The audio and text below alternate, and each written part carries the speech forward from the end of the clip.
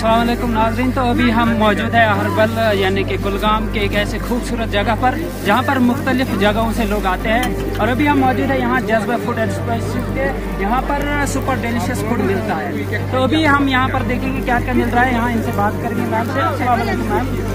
अस्सलाम वालेकुम मैं बतूल एजाज आई हूँ श्रीनगर से। आप सबके सामने, आप सबकी खिदमत में।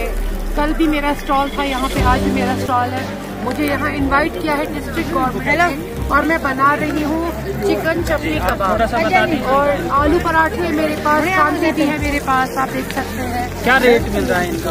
इनका इन चपली कबाब का अकॉर्डिंग टू द मीट है ठीक है? जैसे ये चिकन मीट का रहा ये है। चिकन का है वन के है ये साथ उसके पराठा आता है। बीफ का आता है वन सेवेंटी नाइन का।